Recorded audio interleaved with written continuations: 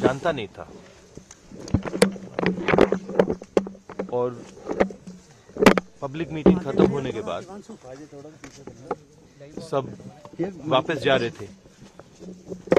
तो मैंने उनको देखा वो सड़क पे चल रहे थे। काफ़ी मतलब वहाँ पे कंफ्यूजन था सब नेता निकल रहे थे। तो मैंने उनको देखा चलते हुए तो मैंने कहा शरद यादव जी आप हमारे साथ चलिए। तो मैंने उनको गाड़ी में बैठा दिया।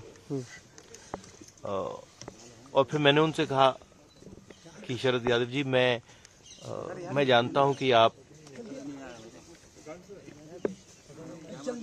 राजनीति को बहुत गहरी तरीके से समझते हो।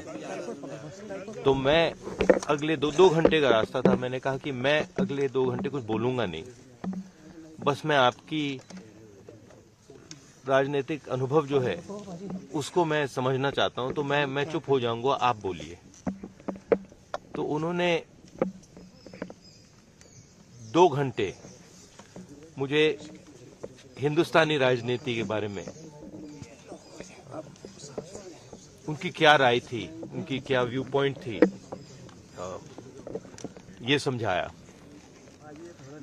फिर उन्होंने जो ऑपोजिशन के लीडर थे तो मेरी दादी के साथ उनकी काफ़ी मतलब राजनीतिक लड़ाई हुई थी। तो फिर उन्होंने मुझे बताया कि राजनीतिक लड़ाई थी, मगर मेरी दादी और उनके बीच में इज़्ज़त और प्यार का मोहब्बत रिस्पेक्ट का रिश्ता था। और जो वो उन्होंने मुझे दो तीन घंटे में बताया, वो एक रिश्ते की शुरुआत थी। और मैं शरद यादव जी से बहुत सीखा हूँ। राजनीति के बारे में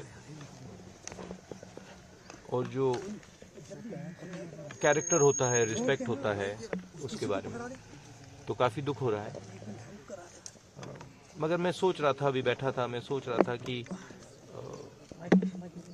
शरद यादव जी नहीं रहे। मगर जिन, जिस प्रकार से उन्होंने अपनी ज़िंदगी जी कभी उन्होंने